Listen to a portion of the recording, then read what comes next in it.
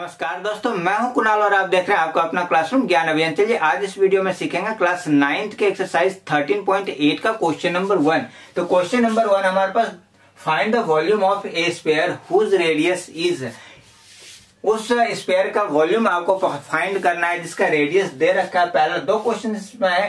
पहला दे रखा है सेवन सेंटीमीटर और दूसरा दे रखा है ज़ीरो सेंटीमीटर तो चलिए इसका सोल्यूशन लेते हैं। सबसे पहले पहले पार्ट का, यहाँ पे हमें दे रखा है क्या चीज़? रेडियस इक्वल टू दे रखा है सेवन सेंटीमीटर तो वॉल्यूम ऑफ़ स्पेयर क्या जाता है? Volume volume of sphere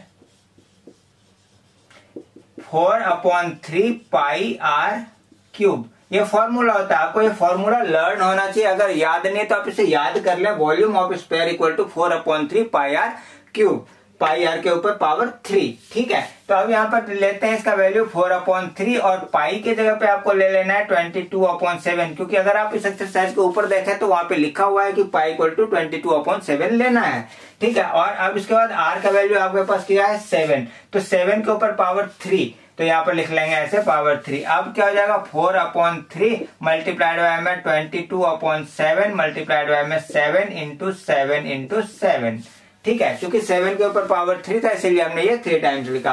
अब एक सेवन से एक सेवन कैंसिल हो जा रहा है। अब क्या बच रहा है आपके पास? Four into twenty two into seven into seven अब आपको इसको मल्टीप्लाई कर लेना है। मल्टीप्लाई करने के बाद जो आएगा, आपको यहाँ पर लिख लेना है। तो सबसे पहले नीचे देखते हैं, क्या हो जा रहा है? ये आ जाएगा four thousand three hundred twelve ठीक है, अब इसको क्या करना है? मिक्स फ्रैक्शन में लिख देना है। तो चलिए मिक्स फ्रैक्शन मिक्स फ्रैक्शन में लिखते हैं तो कैसे हो जाएगा ये? आगे करेंगे तो जाएगा थ्री वन जा थ्री बच रहा है यहाँ पर वन और थ्री थर्टीन थ्री फोर जा ट्वेल्व फिर यहाँ पर वन और वन इलेवन तो थ्री थ्री जा नाइन तो बच गया दो नाइन टेन इलेवन टू और टू ट्वेंटी टू हो जा रहा है तो थ्री सेवन जा ट्वेंटी वन और ये हो जाएगा one upon three centimetre cube यहाँ पे लिख लेंगे सेंटीमीटर क्यूब ठीक है? सेंटीमीटर क्यूब तो ये हो गया हमारा फाइनल आंसर ये फ़र्स्ट पार्ट हमारा कंप्लीट हो गया। उम्मीद है फ़र्स्ट पार्ट समझने में आपको बहुत ही आसानी भी होगी। अब चलिए सेकेंड पार्ट की तरफ़ चलते हैं। सेकेंड पार्ट सेकेंड पार्ट हमारे पास है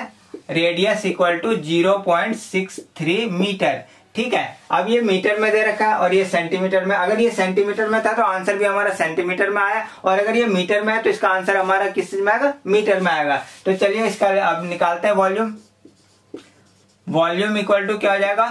फोर अपॉन थ्री और ये हो जाएगा पाई आर क्यूब। तो ये हो जाएगा फोर अपॉन थ्री।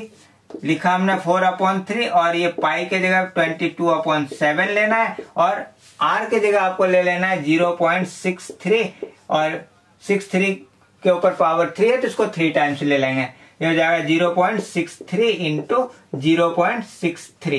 एक बार आप एक स्टेप ये जंप कर सकते हैं, कोई दिक्कत वाली बात नहीं है। अब इसको आप आगे सॉल्व कीजिए तो ये जाएगा सेवन वन जा सेवन और सेवन नाइन जा सिक्सटी थ्री। ये हो जाएगा पॉइंट ज़ीरो नाइन। है ना? सेवन नाइन जा सिक्सटी थ्री। ये हो जाएगा ज़ीरो पॉइंट ज़ीरो नाइन। अब इसको थ्री से करेंगे तो जाएगा थ्री वन जा थ्री और इसको किया तो ज़ीरो पॉइंट ज़ीरो थ्री।